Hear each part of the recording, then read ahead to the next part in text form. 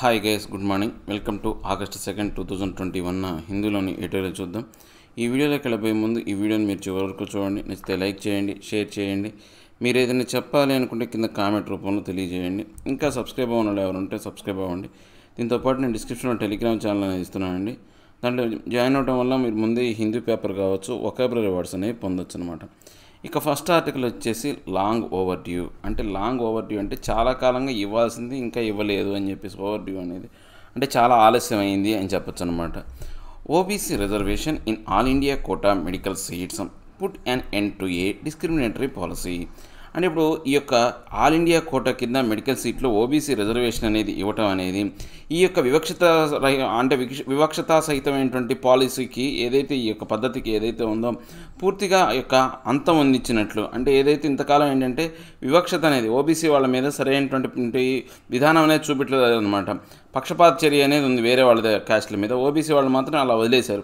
So అలాంటి దానికి ఏదైతే ఉందో దానికి అంతం ఇచ్చే విధంగా అలాంటి వివక్షతను అంతం ఇచ్చే విధంగా ఈ యొక్క విధానం ఉంది అని చెప్తున్నాను అనమాట reservation for students from backward classes in seats surrendered by states to and all India quota in medical colleges run by state governments was long overdue అంటే ఇప్పుడు ఏంటి అంటే రిజర్వేషన్ అనమాట ఎవరైతే బ్యాక్వర్డ్ క్లాసెస్ ఉన్నారో రాష్ట్రాలకు సంబంధించి ఆ సీట్లు ఏమైనా అంటే పూర్తిగా ఆల్ ఇండియా కోటా కింద ఈ యొక్క మెడికల్ కాలేజెస్ ఏవైతే ఉన్నాయో రాష్ట్ర ప్రభుత్వాల చేత నడపబడే మెడికల్ కాలేజెస్కి సంబంధించినటువంటి మొత్తం కూడా వాళ్ళకి ఏం చేశారు? ఆల్ ఇండియా కోటా కింద తీసుకొచ్చారనమాట సో ఆ ఆల్ ఇండియా కోటాలో ఇప్పుడు రిజర్వేషన్ ఇవ్వటం అనేది ఏదైతే ఉందో చాలా కాలంగా ఆలస్యం అవుతున్నటువంటి అంశం అనమాట సో రాష్ట్ర ప్రభుత్వాలకు సంబంధించిన వాటిని ఆల్ ఇండియా కోటాలో పెట్టడం వల్ల ఇప్పుడు ఓబీసీ వాళ్ళకి రిజర్వేషన్ లేకుండా పోయింది. ఆ రిజర్వేషన్ అనేది చాలా కాలంగా ఆలస్యం ఇవ్వకుండా వదిలేసినటువంటి అంశం అనమాట the centres are decision to extend its twenty seven percent reservation for other backward classes to all seats under the AIQ is a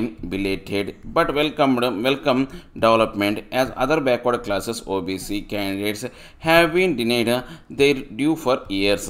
అంటే ఇప్పుడు ఈ కేంద్ర ప్రభుత్వం ఏం చేసిందంటే ఒక నిర్ణయం తీసుకుంది. ఇరవై ఏడు శాతం రిజర్వేషన్ ఏదైతే ఉందో దాన్ని అదర్ బ్యాక్వర్డ్ క్లాసెస్కి సీట్స్ ఆల్ ఇండియా కోటాలో ఉన్నటువంటి ఏదైతే ఉన్న వాళ్ళకి వాటికి వాళ్ళకు ఇరవై ఏడు శాతం రిజర్వేషన్ ఇవ్వాలి అనుకుంది. చాలా బిలేటెడ్ అనమాట చాలా నిదానంగా తీసుకున్నటువంటి నిర్ణయం. కానీ అందరూ కూడా ఆహ్వానించదగ్గటువంటి అభివృద్ధి అనమాట ఈ డెవలప్మెంట్ అనేది. వెల్కమ్ అంటే వెల్కమ్ డెవలప్మెంట్ అనమాట సో ఈ యొక్క అదర్ ఓబీసీ క్యాండిడేట్స్ అనే వాళ్ళు ఎవరైతే ఉన్నారో పూర్తిగా ఏంటి అంటే వాళ్ళు ఇంతకాలంగా వాళ్ళకి ఈ యొక్క హక్కు అనేది లేకుండా ఏదైతే కొన్ని సంవత్సరాలుగా దీన్ని ఏంటి అంటే వాళ్ళకి ఇవ్వకుండా చూస్తున్నామా డినై చేస్తుంటే ఇవ్వట్లేదు అనమాట and in concord with its uh keenness to balance OBC interest with those of the socially advanced sections the union government has also decided to provide ten percent of the AIQ seats to those from the economically weaker sections EWS అంటే ఇప్పుడు మనకు ఈ యొక్క సమన్వయం అనేది ఎక ఈ యొక్క కాంకర్డ్ అంటే ఏంటంటే సమన్వయం అనేది దేని మీద ఆధారపడి ఉందంటే ఈ ఓబీసీ ఇంట్రెస్ట్ అంటే ఈ ఓబీసీ వాళ్ళకి ఏదైతే ఉందో వాళ్ళ యొక్క ముఖ్యంగా వాళ్ళని ఉద్దేశించి చేశారనమాట ఎందుకంటే ఆల్రెడీ యూనియన్ గవర్నమెంట్ ఏంటంటే ఒక జనరల్ కోటాలో ఉన్నటువంటి అంటే ఎవరో రిజర్వేషన్లో లేనటువంటి ఈ యొక్క పెద్ద కులాల వాళ్ళకి సంబంధించి ఎకనామికల్గా వీకర్ సెక్షన్స్కి టెన్ పర్సెంట్ రిజర్వేషన్ అనేది ఇచ్చిందనమాట సో ఇప్పుడు దాన్ని బ్యాలెన్స్ చేస్తూ ఇప్పుడు ఓబీసీ వాళ్ళకి కూడా రిజర్వేషన్ అనేది ఇచ్చిందనమాట this is the almost entirely the outcome of a Madras high court verdict and the efforts to efforts of the Dravida Munnetra Kazhagam which approach the court with the demand so ఇప్పుడు ఈ యొక్క ఏదైతే ఉందో ఈ యొక్క result అనేది అంటే ఈ ఓబీసీ వాళ్ళకి ఇరవై ఏడు శాతం కోట రావడం అనేది ఈ యొక్క మద్రాస్ కోర్టు యొక్క తీర్పు సంబంధించి దాని యొక్క ప్రభావం కారణంగా. దాంతోపాటు ద్రవిడ మున్కే మున్నేటి కష్టం డిఎంకే పార్టీ యొక్క ఏదైతే బలమైనటువంటి విధానం అనమాట సో వాళ్ళకి రిజర్వేషన్ ఇవ్వాలని చెప్పేసి ఫస్ట్ వాళ్ళే కోర్టులో డిమాండ్ చేశారనమాట the AIQ is a category created by the Supreme Court to free up some seats from residential or domicile requirements in some states um, for admissions to their medical colleges. అంటే ఈ యొక్క AIQ అనమాట all India కోట అనేది ఎవరు create చేశారండి? ఈ పద్ధతిని ఎవరు క్రియేట్ చేశారంటే సుప్రీంకోర్టు క్రియేట్ చేసిందనమాట ఎందుకని? ఈ యొక్క all India quota list list కింద ఏంటంటే రాష్ట్ర ప్రభుత్వాల్లో కొన్ని అడ్మిషన్స్ అనేవి జరగాలి. మెడికల్ కాలేజెస్లో అంటే రాష్ట్ర ప్రభుత్వాల యొక్క పనితీరులు అంటే అధికారం కింద ఉన్నటువంటి మెడికల్ కాలేజీలో జరగాలి అని చెప్పేసి కొన్ని రెసిడెన్షియల్ కోటా కోటా కింద వాటిని అంటే రిజర్వ్ చేసి పెట్టిందనమాట introduced in nineteen eighty six the AIQ comprised fifty percent of undergraduate medical medical and dental seats and fifty percent of postgraduate seats surrendered by the seats for admissions through a central pool అంటే ఇప్పుడు ఈ యొక్క all India కోట అనేది పంతొమ్మిది వందల ఎనభై ఆరులో ప్రవేశపెట్టారనమాట దీని ప్రకారం ఏంటంటే ఆల్ ఇండియా కోట కింద రాష్ట్ర ప్రభుత్వం సంబంధించిన కాలేజీలో పదిహేను శాతం ఏదైతే ఈ యొక్క ఏదైతే మెడికల్ కావచ్చు డెంటల్ సీట్స్ అనేవి ఆల్ ఇండియా కోట కింద రిజర్వ్ అయితే అయి ఉంటాయి అనమాట అంటే ఏ రాష్ట్రం వాళ్ళలో అయినా సరే అంటే ఇప్పుడు భారతదేశం సంబంధించిన అన్ని రాష్ట్రాల్లో కలిపి పదిహేను శాతం రిజర్వేషన్ అనేది వాళ్ళకి ఇవ్వడం అనేది జరుగుతుంది అనమాట అదే పోస్ట్ గ్రాడ్యుయేట్లు అయితేనే యాభై శాతం రిజర్వేషన్ అనేది ఉంటుందన్నమాట సెంట్రల్ పూల్ కింద. అంటే సెంట్రల్ యొక్క భాగం కింద పదిహేను శాతం ఏమో ఈ యొక్క మెడికల్ డెంటల్ దాంట్లో ఉంటాయి. యాభై శాతం ఏమో పోస్ట్ గ్రాడ్యుయేషన్లో ఉన్నాయన్నమాట. There was no reservation in the AIQ and once in the past the supreme court set aside a Madras high court order directing the centre to implement schedule caste schedule tribe quota in the category so ఇప్పుడు మనకు ఏదైతే ఈ యొక్క all India quota కింద reservation లేదనుకోండి అంటే ఒక పా ఇంతకుముందు చరిత్ర లేకపోతే అప్పుడు సుప్రీంకోర్టు ఏంటంటే మద్రాస్ హైకోర్టు సంబంధించినటువంటి ఈ యొక్క ఏదైతే ఈ యొక్క అంటే ఈ యొక్క ఆర్డర్ అనేది ఏదైతే సెంట్ర ఇంప్లిమెంట్ చేయాల్సిన ఆర్డర్ ఏంటి అంటే schedule caste schedule tribe quota కింద మాత్రమే ఇంతకుముందు ఉండేదన్నమాట. ఎప్పుడైతే ఈ ఆల్ ఇండియా కోటా అనేది లేనప్పుడు లేకముందు in two thousand seven the supreme court allowed fifteen percent scheduled caste reservation and seven and a seven point five percent schedule tribe quota under the AIQ so రెండు వేల ఏడులో ఏం జరిగింది? Supreme court ఏం చేసింది? పదిహేను శాతం షెడ్యూల్ క్యాస్ట్కి తర్వాత ఏడు పాయింట్ ఐదు శాతం డెబ్బై షెడ్యూల్ ట్రైబ్కి అనేది ఈ యొక్క ఏఐక్యూ ఆల్ ఇండియా కోటా కింద ఇవ్వడం జరిగిందనమాట meanwhile based on a central law favouring backward class reservation in education institutions the union some twenty seven percent OBC quota was introduce in the central education institutions so ఇప్పుడు ఏదైతే పైన చెప్పినటువంటి ఈ యొక్క SC ఎస్టీలకు ఎప్పుడైతే రిజర్వేషన్ ఇచ్చారో ఆ యొక్క దానికి అనుగుణంగానే ఇప్పుడు ఈ యొక్క సెంట్రల్ ఎడ్యుకేషన్ అంటే ఎడ్యుకేషన్ ఇన్స్టిట్యూషన్స్లో ఇరవై ఏడు శాతం అనేది ఓబీసీ కోటా కింద కొత్త అంటే ఈ యొక్క రిజర్వేషన్ అనేది ఇంట్రడ్యూస్ చేయడం జరిగిందనమాట there was no move to implement OBC reservation in the category so కానీ ఇంతవరకు కూడా దానికి సంబంధించినటువంటి ఎటువంటి చర్యలు కూడా తీసుకోలేదనమాట in the courts the medical council of India argued against OBC reservation but the union government said it was not averse to the reservation subject to an overall fifty percent limit అంటే ఇప్పుడు మనకు ఏదైతే ఉందో ఈ యొక్క medical council సంబంధించిన వాళ్ళు ఏం వాదించారంటే ఓబీసీ రిజర్వేషన్ వ్యతిరేకంగా వాదించారనమాట కానీ ఈ యొక్క యూనియన్ గవర్నమెంట్ మాత్రం ఏమని చెప్పింది అంటే మేము ఈ యొక్క అయిష్టత ఎవర్స్ అనమాట ఎవర్స్ అంటే ఏంటి? అయిష్టత కావచ్చు లేకపోతే విము విముఖత అనేది చూపించట్లేదు రిజర్వేషన్ కానీ మేము ఎందుకు ఇవ్వడానికి ఇష్టపడట్లేదు అంటే ఇక్కడ ఏంటంటే యాభై శాతం మాత్రమే లిమిట్ అనేది ఉంది. అందుచేత మేము ఇవ్వలేకపోతున్నాము అంత తక్కువ లిమిట్ ఉండడం వల్ల ఆ ఈ ఫిఫ్టీ పర్సెంట్లో కూడా మళ్ళీ ట్వంటీ సెవెన్ పర్సెంట్ అనేది రిజర్వే రిజర్వేషన్ పోతే ఇబ్బంది అవుతుందనే ఉద్దేశంతో ఇవ్వట్లేదని చెప్పారనమాట the omission of OBC reservation in the AIQ seats was obviously discrimination discriminatory అంటే వదిలిపెట్టడం. ఓబీసీ రిజర్వేషన్ అనేది ఆల్ ఇండియా కోటా కింద ఇవ్వకపోవటం అనేది పూర్తిగా వివక్షాతాభరితమైందనమాట there were OBC seats in medical institutions run by the centre as well as state specific quotas in the in those run by the states అంటే ఇప్పుడు మనకు ఏదైతే ఓబీసీ సీట్స్ అనేవి ఈ మెడికల్ ఇన్స్టిట్యూషన్స్లో కేంద్ర ప్రభుత్వం చేత నడపబడే ఈ యొక్క కాలేజీల్లోనూ దాంతోపాటు రాష్ట్ర ప్రభుత్వంలో కోట కింద ఉండే వాటిలో కూడా ఉన్నాయన్నమాట. It was incongruous that seats given up by the states to help the center redistribute medical education opportunities across the country were kept out of the ambit of um, affirmative action అంటే ఇప్పుడు మనం కనుక చూసుకుంటే ఈ యొక్క ఇది ఒక తగని విధంగా ఉందన్నమాట. అంటే ఇప్పుడు ఎలా ఉంది? ఈ యొక్క ఏదైతే ఈ యొక్క మెడికల్ ఎడ్యుకేషన్ సంబంధించినటువంటి అవకాశాలని దేశం మొత్తం కూడా అందించాలి అంటే ఏదైతే ఈ పరిధి ఏదైతే ఉందో ఆ పరిధి అనేది కనుక మనం చూస్తే కనుక సకారాత్మకంగా ఉండాలి. అంటే అన్ని వర్గాల వారికి అందుబాటులో ఉండే విధంగా ఉండాలన్నమాట. There was even a case to argue that um as AIQ seats originally belong to states the quota policy applicable to the respective states out to be applied to them. అంటే ఇప్పుడు మనం కనుక చూసినటువంటి ఈ యొక్క వాదన ప్రకారం మనం కనుకంటే ఈ యొక్క ఆల్ ఇండియా కోటా సీట్లన్నీ కూడా రాష్ట్ర ప్రభుత్వానికి సంబంధించినవి. ఈ రాష్ట్ర ప్రభుత్వం సంబంధించిన కొన్ని సీట్లను ఏం చేశారంటే ఆల్ ఇండియా కోట కింద అంటే భారతదేశంలో ఎవరైనా కానీ ఈ సీట్లలో చదువుకోవచ్చు ఈ సీట్ల ద్వారా చదువుకోవచ్చు అని కొన్ని వాటిని రిజర్వ్ చేసి పెట్టారన్నమాట ఆల్ ఇండియా కోట కింద. సో అవన్నీ కూడా రాష్ట్ర ప్రభుత్వానికి సంబంధించింది సో ఇప్పుడు మనకు అవన్నీ కూడా రెస్పెక్టివ్ స్టేట్స్కి సంబంధించినవి కాబట్టి వాటికి వాటికి అనుకూలంగా ఉండే విధంగానే ఉండాలన్నమాట. The Madras high court in July 2020 held that there was no legal impediment to OBC reservation but given that the policy varied from state to state, it left it to the center to decide the modalities of um, quotas from this academic year so Madras high court July రెండు వేల ఇరవైలో ఏం చెప్పింది అంటే ఈ యొక్క ఏదైతే OBC reservation సంబంధించి ఏదైనా కానీ చట్టబద్ధమైనటువంటి అవరోధం అనేది ఏమీ లేదు ఇంపిడిమెంట్స్ అంటే అవరోధం అనేది నో లీగల్ ఇంపిడిమెంట్స్ అంటే చట్టబద్ధమైనటువంటి అవరోధం అనేది లేదు కానీ ఈ యొక్క విధానం అనేది ఓబీసీ రిజర్వేషన్ విధానం అనేది రాష్ట్రానికి రాష్ట్రానికి మారుతూ ఉంది. సో మీరు ఏం చేయాలంటే ఈ కేంద్ర ప్రభుత్వానికి అవకాశం ఇవ్వాలి. వాళ్ళు డిసైడ్ చేసుకొని ఈ యొక్క మొడాలిటీస్ అనమాట ఈ యొక్క విధానాలు పద్ధతులు ఏవైతే ఉన్నాయో ఈ కోటా కింద అకాడమిక్ ఇయర్ అనేది అంటే ఈ యొక్క ఇయర్ నుంచి అకాడమిక్ ఇయర్ నుంచి కేంద్ర ప్రభుత్వం అనేది నిర్ణయం తీసుకోవాలి. ఎంతెంత రిజర్వేషన్ ఇవ్వాలనే దానికి సంబంధించినటువంటి రిజర్వేషన్ ఇవ్వాలనే దాన్ని కేంద్ర ప్రభుత్వం నిర్ణయం తీసుకోవాలన్నమాట. ఎందుకని ఒక్కొక్క రాష్ట్రంలో ఒక్కొక్క విధానం ఉంది కాబట్టి the centre has now decided on this twenty seven percent OBC quota but not before the High Court termed the delay in doing so contumacious. అంటే ఇప్పుడు మనం కనుక చూస్తే ఈ యొక్క కేంద్ర ప్రభుత్వం అనేది ఈ యొక్క ఇరవై ఏడు శాతం ఓబీసీ కోట అనేది ఇవ్వటం అనేది జరిగిందనమాట ఏది డిసైడ్ చేసింది ఇప్పుడు ట్వంటీ సెవెన్ పర్సెంట్ అనేది. ఈ హైకోర్టు ఏదైతే ఉందో దీన్ని టల్ డిలే అని చూసారా? అది ఇంతకుముందు అంటే ఇప్పుడు వరకు డిలే నా అంటే డిలే అనే ఇలాంటి విధానం చేయడం చాలా లేట్ అయింది అని అని అంది కదా.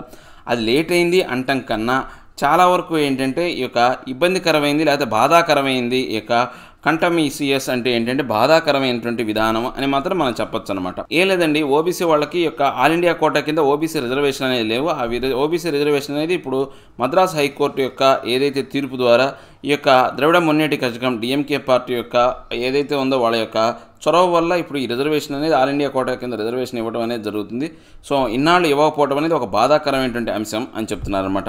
ఇక నెక్స్ట్ ఆర్టికల్ వచ్చేసి ఇల్యూజు గోల్డ్. అంటే ఇల్యూజివ్ గోల్డ్ అంటే మనం గోల్డ్ కోసం ఏంటంటే వెంపర్లాడుతున్నాం అందుకో అనుకోవచ్చు. లేకపోతే అసలు ఈ గోల్డ్ అనేది మనకు ఎల్యూజు అంటే అంత అంతు దొరకట్లేదు అనమాట ఈ గోల్డ్ అనేది మనకు వస్తుందో రాదో అనే నమ్మకం లేదు అని చెప్పే ఆర్టికల్ అనమాట India is still searching for a gold medal as the Olympic games enter the second week. అంటే ఇప్పుడు ఒలింపిక్ గేమ్స్ అనేవి జరగబట్టి ఇది రెండో వారం అనమాట ఇప్పటికీ కూడా మన భారతదేశం అనేది గోల్డ్ గోల్డ్ మెడల్ కోసం వెతుక్కుంటుంది కానీ ఇంతవరకు కూడా ఎవరు గోల్డ్ మెడల్ సంపాదించలేదు అని చెప్తున్నాను అనమాట India at the Olympics has always been about feverish hopes brushing anguish and a few medals అంటే ఇప్పుడు మనకు భారతదేశం అనేది ఒలింపిక్ గోల్డ్ అంటే ఒలింపిక్ ఆటలు ఆడుతుంది. ఆ ఆటల్లో ఎప్పుడూ కూడా మనకు ఫేవరిష్ అనమాట జ్వరంతో కూడినటువంటి హోప్స్ అంటే సరైనటువంటి నమ్మకం అనేది ఉండదన్నమాట. ఫేవరిష్ హోప్స్ అంటే సరైనటువంటి నమ్మకం అనేది ఉండదు. దాంతోపాటు ఏదైతే యొక్క ఏదైతే వేదంతో కూడినటువంటి బాధలు గాయం కావచ్చు బాధలు అనేది యాంగ్విష్ హోప్ బ్రుషింగ్ యాంగ్విష్ అంటే వేదనతో కూడినటువంటి గాయాలు. దాంతోపాటు చాలా తక్కువ మెడల్స్ అనమాట అంటే వేదంతో కూడినటువంటి బా గాయాలంటే ఆటగాళ్ళు దెబ్బలు తింటాం కావచ్చు లేకపోతే వాళ్ళు సరిగా పా ఏదైతే మెడల్ సాధించలేకపోవడం కావచ్చు ఇవన్నీ కూడా. Since it's at the Olympic games in nineteen the world's second most populous nation has ended up with um, either a single digit tally or none at all. అంటే మనకు పంతొమ్మిది వందల నుంచి మన ఈ యొక్క ఒలింపిక్ గేమ్స్లో ఈ యొక్క పాలు పంచుకుంటూ ఉన్నాం అనమాట అప్పటి నుంచి కూడా ప్రపంచంలోనే అత్యంత రెండో పెద్ద జనాభా కలిగినటువంటి దేశంలో అయితే ఈ యొక్క గోల్డ్ పెండ్ల స్థానంలో మనకు ఈ టాలీలో సింగిల్ డిజిట్ అనమాట అంటే సింగిల్ డిజిట్ అంటే ఏంటి? ఒకటి నుంచి తొమ్మిది మధ్యలో అంటే అన్ని కూడా రావు మనకు చెప్పాలంటే. ఒకటో రెండో వస్తే మహా అయితే ఒకటి అంతే ఇంకా గొప్ప చెప్పుకుంటే రెండు. సో లేకపోతే అసలు గోల్డ్ మెడల్స్ అనే ఉండవన్నమాట. That a familiar tale is being repeated a week after the Tokyo Olympics. Commenced and India is currently assured of three medals అంటే ఇప్పుడు ఇదే విధానం ఏదైతే ఉందో మన గోల్డ్ మెడల్స్ సంపాదించుకోకపోవడం అనే విధానం అనేది ఎప్పుడు జరుగుతూనే ఉంది. ఇప్పుడు రీసెంట్గా స్టార్ట్ అయినటువంటి టోక్యో ఒలింపిక్స్లో కూడా అదే జరుగుతుందనమాట ఈ ఫస్ట్ వారంలో ఏంటంటే మనం ఎన్ని మెడల్స్ గెలిచామంటే మూడు మెడల్స్ అనమాట అవి కూడా గోల్డ్ కాదనమాట one a silver claimed by weight lifter Mirabai Chanu in the forty nine kg category so ఇప్పుడు ఒకటి మాత్రమే మనకు ఒక సిల్వర్ అనేది వచ్చింది ఫస్ట్ చెప్పాలంటే అది కూడా మీరాబాయి చాను అనే ఆమె నలభై తొమ్మిది కేజీల కేటగిరీ విభాగంలో వెయిట్ లిఫ్టింగ్లో వచ్చిందనమాట and second a minimum of a bronze guaranteed as a boxer Lovlina Borgohain qualified for the semifinal in the welter weight segment అంటే ఇప్పుడు ఈ యొక్క ఇంకొకటి ఏంటంటే మనకు బ్రాంజ్ మెడల్ గ్యారంటీ అనమాట అంటే ఇప్పుడు ఆమె గెలిచినా ఓడిపోయినా కానీ బ్రాంజ్ అనేది మాత్రం గ్యారంటీ అనమాట ఎవరికి వచ్చిందంటే లేవ్లినా బర్గోహెయిన్ అనే ఆమెకు వచ్చింది. ఆమె సెమీఫైనల్కి కి సెలెక్ట్ అయిందనమాట ఈ యొక్క వెల్టర్ వైట్ సెగ్మెంట్ సంబంధించి. The bout will be held on Wednesday. ఎప్పుడైతే మన బుధవారం ఏదైతే మ్యాచ్ జరిగిందో ఆ మ్యాచ్లో ఆమెకు వచ్చిందనమాట badminton star PV Sindhu to join the party seizing her branch after defeating China's He Geo 2113-2115 during Sunday's third place playoff. ఈ యొక్క బ్యాడ్మింటన్ స్టార్ అయినటువంటి పివి సింధు ఇప్పుడు ఈ యొక్క పార్టీలో జరిగింది. అంటే ఈ యొక్క మెడల్స్ యొక్క పార్టీలో జట్టులో చేరిందనమాట ఈ సీజన్ ఏంటంటే బ్రాంజ్ అనేది రావచ్చు అనమాట ఎప్పుడైతే చైనాకు సంబంధించినటువంటి చైనీస్ హీ బీయింగ్ జియో అనే ఆమెని ఇరవై ఒకటి పదమూడు సె- తర్వాత ఇరవై ఒకటి పదిహేను సెట్లలో ఆమెను ఓడించిందనమాట సో ఈమెకు బ్రాంజ్ మెడల్ వచ్చే అవకాశం ఉందనమాట through their exploit Mirabai and Lovlina hailing from Manipur and Assam respectively have reveal the rich sporting ability shimmering in the northeastern states linked to the mainland through the chicken's neck above Bangladesh. So ఇప్పుడు ఎవరైతే ఈ యొక్క ఈ యొక్క సముపార్జించుకున్న వాళ్ళు ఈ యొక్క విజేతలు ఎవరైతే ఉన్నారో మీరాబాయి కావచ్చు లెవ్లీనా కావచ్చు మీరాబాయి అయితేనే మణిపూర్ రాష్ట్రం నుంచి లెవ్లీనా అయితే అస్సాం రాష్ట్రం నుంచి వచ్చిన వాళ్ళు అనమాట సో వీళ్ళు ఏంటంటే ఈ యొక్క స్పోర్టింగ్ ఎబిలిటీలో ఒక మెరుపులు మెరిశారు. గొప్పదైనటువంటి ఈ యొక్క ప్రపంచంలో అత్యంత ఉత్తమమైనటువంటి ఈ యొక్క ఆటల్లో వీళ్ళు ఒక మెరుపులు మెరిశారు అనమాట నార్త్ ఈస్టర్న్ స్టేట్స్ అనేవాళ్ళు. ఇది మన భారతదేశాన్ని ఎలా లింక్ అయిందంటే ఒక కోడి తలక ఎలా లింక్ అయి ఉంటుందో అలా లింక్ అయినట్టు ఉంటుంది అనమాట మన భారతదేశంలో. ఇది బంగ్లాదేశ్ పైన ఉందన్నమాట ఈ ప్రాంతం అనేది. Mirabai and Lovlina owe their triumphs to their innate strength and hard work besides the obvious support from family and sporting authority of India. So ఇప్పుడు ఈ యొక్క మీరాబాయ్ కావచ్చు లెవలినా కావచ్చు వాళ్ళ యొక్క విజయాలకు సంబంధించినటువంటి ఏదైతే ఉందో ఆ యొక్క ఓ అంటే బద్దుడై ఉండటం అనమాట విజయాలకు ఎవరు బద్దు ఎలా బద్దుడై ఉన్నారంటే వాళ్ళకు సహజంగా వచ్చినటువంటి బలం తర్వాత వాళ్ళు కష్టించిన స్వభావం దాంతోపాటు వాళ్ళ యొక్క ఫ్యామిలీ దాంతోపాటు మన స్పోర్టింగ్ అథారిటీ ఆఫ్ ఇండియా యొక్క సపోర్ట్ కారణంగా వాళ్ళు ఈ విజయాలు సా సాధించారన్నమాట. With Sindhu they have also reiterated women power అంటే ఇప్పుడు ఈ యొక్క విత్ సింధుతో కలుపుకొని ఈ యొక్క ఆడవాళ్ళు ఇప్పుడు వీళ్ళందరూ మనం చెప్పుకున్న లిస్ట్ అంతా కూడా ఆడవాళ్ళే అనమాట ఈ యొక్క ఆడవాళ్ళ యొక్క శక్తి అనేది బయటపడింది అనమాట Sindhu who won the silver at the previous Olympics at Rio de Janeiro had an exceptional run till she ran ran into Chinese Taipei's Tai Tzu gene in the semi-final and, and then made amends with a bronze. అంటే ఇప్పుడు ఈ సింధు ఎవరైతే ఉన్నారో last Rio Olympic గేమ్స్లో Rio de Janeiro ఈ యొక్క Olympic గేమ్స్లో ఆమె ఏంటంటే ఇక సిల్వర్ అనేది సాధించిందనమాట ఆ ఒక్కదానికి ఎక్సెప్షన్ అనేది ఉందన్నమాట. ఎప్పటి వరకు ఉంది అంటే గెలుస్తూ ఒక ఎక్సెప్షన్ అనేది ఉంది. ఎప్పుడైతే చైనాకు సంబంధించినటువంటి ఈ యొక్క చైనా టైపీస్కి సంబంధించినటువంటి టైజు ఇంగ్ సంబంధించినటువంటి ఏదైతే ఉందో ఆమె సెమీఫైనల్లో ఆమె మీద గెలవడం కారణంగా ఇప్పుడు ఈ బ్రాంజ్ మెడల్ అనే దాంట్లో ఆమె సర్దుబాటు చేసుకుందనమాట అంటే ఇప్పుడు బ్రాంజ్ మెడల్ వచ్చే అవకాశం కూడా ఫైనల్ మ్యాచ్ కూడా గెలిచింది అనుకోండి గోల్డ్ మెడల్ అనేది వస్తుందన్నమాట. India had a moment saver when it's a women's hockey team entered the quarter finals. అంటే ఇప్పుడు ఇండియాకు ఇంకొక మంచి అవకాశం కూడా ఉందన్నమాట. ఆల్రెడీ ఉమెన్కి సంబంధించినటువంటి హాకీ టైమింగ్ అనేది ఈ యొక్క క్వార్టర్ ఫైనల్స్లో జాయిన్ అయిందనమాట వాళ్ళు a strong Australian outfit awaits in the knockout on Monday the women will add to India's ever gain hockey hopes that gain a fillip after the man defeated Great Britain three three one during Sunday's quarter final అంటే ఇప్పుడు ఏంటి వీళ్ళు ఈ యొక్క అంటే ఇప్పుడు వీళ్ళు quarter ఫైనల్స్లోకి enter అయ్యారనమాట ఇప్పుడు నాకౌట్ దశ అనమాట అంటే ఎవరైతే ఓడిపోతారో ఆ ఓడిపోయిన వాళ్ళు ఆ గేమ్ నుంచి వెళ్ళిపోవాలన్నమాట. ఆట ఆ నాకౌట్ దశలో బలమైనటువంటి ఆస్ట్రేలియా టీంతో ఈ యొక్క ఆడవాళ్ళు అనేవాళ్ళు పోటీ పడుతున్నారనమాట సో ఇప్పుడు మనకు హాకీ అనేది మనకు మన భారతదేశానికి జాతీయ ఆట అనమాట దాంట్లో మనకి ఏంటంటే ఎప్పటి నుంచో ఒక ఎవర్గ్రీన్ ఒకప్పుడు మనం. సో దాంట్లో ఏంటంటే మనకు మంచి ఒక అంటే ఆశాజనకంగా ఫిలిప్ అంటే ఏంటంటే ఒక ప్రకాశవంతంగా వచ్చే విధంగా ఉంది. ఆల్రెడీ మన మెన్కు సంబంధించిన వాళ్ళు ఏదైతే గ్రేట్ బ్రిటన్ని త్రీ వన్ ఆటతో గోల్స్తో ఏం చేశారంటే సండే క్వార్టర్ ఫైనల్స్లో విజయం సాధించారు కాబట్టి వాళ్ళకు కూడా ఆడవాళ్ళకు కూడా ప్రోత్సాహం కలిగించే విధంగా ఉందన్నమాట. After the nineteen eighty gold the women's quest to win another Olympic medal has gained impetus and the road ahead is tough but interesting so పంతొమ్మిది ఎనభై తర్వాత మనకు హాకీలో గోల్డ్ మెడల్ అనేది రాలేదన్నమాట. అప్పటి నుంచి కూడా మన ఆడ మగవాళ్ళకి సంబంధించినటువంటి హాకీలో ఈ యొక్క అన్వేషణ క్వెస్ట్ అంటే అన్వేషణ జరుగుతుందన్నమాట. సో ఇప్పుడు ఆ యొక్క రోడ్ అనేది కష్టమైంది. అంటే ఈ అంటే దీనికి సంబంధించిన కష్ట రోడ్ కష్టమైన రోడ్ ముందున్నప్పటికీ కూడా చాలా ఆసక్తికరంగా ఉందన్నమాట ఇంట్రెస్టింగ్గా ఉందన్నమాట. In the limited chronicle of good tidings Kamal Preet Kaur's excellent throw of sixty four metres in the discus throw event has was a spark అంటే ఇప్పుడు ఏదైతే ఉందో ఈ యొక్క లిమిటెడ్ క్రానికల్ అంటే మనకున్నటువంటి తక్కువ అవకాశాలతో తర్వాత మంచి యొక్క టైడింగ్స్ అనమాట మంచి గాలుల కారణంగా ఇప్పుడు ఏంటంటే కమల్ ప్రీత్ కౌర్ అనే ఆమె ఒక డిస్కస్ త్రోలో మంచి ఎక్సలెంట్గా త్రో చేసిందనమాట అరవై నాలుగు మీటర్లు అనేవి సో అది కూడా ఒక మెరుపు మెరిసినట్టు ఉందన్నమాట. Kamal కవల్ Kamal Preet qualified for Monday's final and a lot is resting on her shoulders. So ఇప్పుడు ఈ యొక్క కమల్ప్రీత్ అనే ఆమె పూర్తిగా ఫైనల్స్కి అనే దానికి క్వాలిఫై అయిందనమాట సో ఆమె యొక్క భుజాల మీద చాలా భారం అనేది ఉందన్నమాట. చాలా భారం అనేది మోస్తుందన్నమాట. While these are stirring events kept India afloat there is also the litany of a heart breaks that include Mary Kom's loss in boxing a fact the thirty eight year old failed to initially admit him following her adrenal rush. అంటే ఇప్పుడు ఏదైతే ఉందో దీంతో పాటు ఈ యొక్క మన భారతదేశానికి సంబంధించి అంటే ఇలాంటి ఆటలు కావచ్చు ఇలాంటి ఆటగాళ్ళ కారణంగా మన భారతదేశం ఆశలు అనేవి ఇంకా ఏంటంటే తేలుతూనే ఉన్నాయన్నమాట. ఇంకా ఆశలు మెరుగ్గానే ఉన్నాయన్నమాట.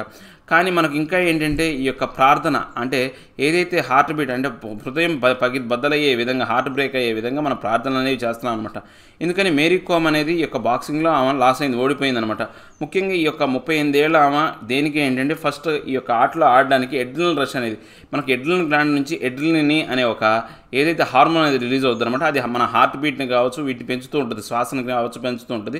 దాని ఫెయిల్ అవడం కారణంగా ఆ మాటలు ఆడలేకపోయిందనమాట the travails in shooting and archery did not add up to the original template of a good good ఫ్రా good form and retained expectations అంటే మనకు ఏదైతే ఉందో ఈ షూటింగ్ సంబంధించి కావచ్చు లేకపోతే ఆర్చరీకి సంబంధించి కావచ్చు మనం అనుకున్నంత ఆశించినంత సహజ విధంగా యొక్క ఎక్స్పెక్టేషన్ తగ్గట్టుగా రిజల్ట్ అనేది రాలేదనమాట ఎప్పుడు మనకు షూటింగ్లో ఆర్చరీలో కొంచెం మంచి మెరుగైన స్థానం అనేది ఉంటుందన్నమాట.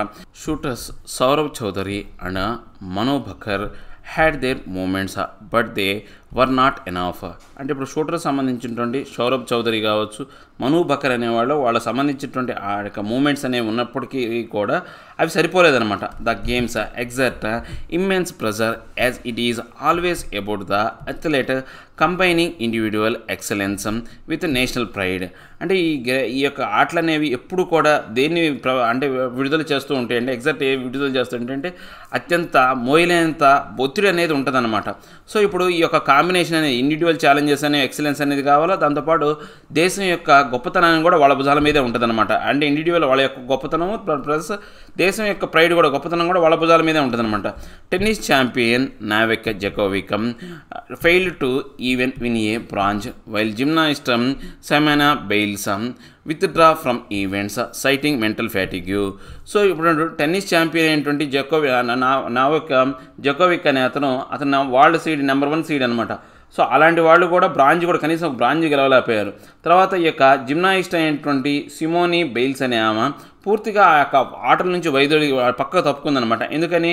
మెంటల్ ఫ్యాటిక్ అంటాం అంటే మానసికమైనటువంటి ఈ యొక్క భారం అనేది ఉంది. నాకు మా- మానసికంగా ఫ్యాటిక్ అంటే అలసత్వం అనేది ఏర్పడిందని చెప్పేసి ఆమె పక్క దక్కుందనమాట it is never easy and the Indian contingent would watch for that going in to the second week అంటే ఇప్పుడు మనకు ఏదైతే ఉందో అంత ఈజీ ఏం కాదు. మన భారతదేశానికి సంబంధించినటువంటి ఈ యొక్క ఆటగాళ్ళు ఎవరైతే ఉన్నారో వాళ్ళందరూ కూడా ఏంటంటే నెక్స్ట్ సెకండ్ వీక్లో వీళ్ళు ప్రభావవంతంగా కావచ్చు లేకపోతే మనం అనుకున్నంత స్థాయి స్థాయిలో వాళ్ళు ఖచ్చితంగా ఈ యొక్క ఆటలు అంటే అనూహ్యంగా ఈ యొక్క ఏదైతే ఉందో హామీ అనేది ఇస్తారు. సెకండ్ వీక్లో మనకు హామీ అనేది ఇస్తారు అనే దాని గురించి మనకు సరైనటువంటి ఏది అంత ఈజీ అయితే కాదనమాట. అంటే ఈ యొక్క అనూహ్యంగా వీళ్ళు హామీ ఇచ్చి మనకు ఎక్కువ పథకాలు తెచ్చిపెడతారంటాం అనేది అంత ఈజీ అయినటువంటి మాట అయితే కాదు అని చెప్తున్నాను అనమాట ఏం లేదండి ఈ యొక్క ఒలింపిక్ గేమ్స్ అనేది పంతొమ్మిదిలో మన భారతదేశం అనేది ఇంట్లో జాయిన్ అయింది ఆడటం మొదలుపెట్టింది. అప్పటి నుంచి కూడా మనకు చాలా తక్కువ గోల్డ్ మెడల్ వస్తున్నాయి. వన్ ఆర్ నన్ అనమాట అంటే ఒక సింగిల్ డిజిట్ ఆర్ నన్ను వస్తే ఒకటి రెండు వస్తాయి. లేదా అసలు లేకుండా ఉంటాయి అనమాట సో ఇంత పెద్ద పాపులర్స్ కంట్రీలో ఇలా లేకపోవడం అనేది బాధాకరమైన విషయం. దీంతో పాటు మనం ఇంకా చెప్పాలంటే ఇది ఒక ఒత్తిడితో కూడినటువంటి ఒక ఆట అనమాట ఎందుకంటే ప్రపంచవ్యాప్తమైనటువంటి ఒక గొప్ప ఆట కాబట్టి దీని మీద చాలా ఒత్తిళ్ళు ప్రజలు అనేవి ఉంటాయి. ఇలాంటి కారణంగా పెద్ద పెద్ద ఆటగాళ్ళు కూడా ఎక్కువగా సాధించలేకపోతున్నారు. కానీ మనకు ఇంకా రెండో వారం కూడా ఉంది. ఒక వారంలో మనం ఏం పెద్దగా గోల్డ్ మెడల్ ఏం సాధించలేదు. కానీ మనకు అనూహ్యంగా ఎక్కువగా అంటే విజయాలు తెచ్చిపెట్టి గోల్డ్ మెడల్ సాధించే అవకాశం అనేది అంత ఈజీ అయితే ఏం కాదు అని చెప్తున్నాను అనమాట. సో ఇవండి ఈరోజు నా హిందులో టూ ఆర్టికల్ ఎక్స్ప్లెనేషన్ ఎక్స్ప్లెనేషన్ మీకు నచ్చే ఉంటుంది అనుకుంటే నచ్చితే లైక్ చేయండి షేర్ చేయండి. మీరు ఏదైనా చెప్పాలి అనుకుంటే కింద కామెంట్ రూపంలో తెలియజేయండి. ఇంకా సబ్స్క్రైబ్ అవ్వడం ఎవరంటే సబ్స్క్రైబ్ అవ్వండి. Thank you thank you thank you very much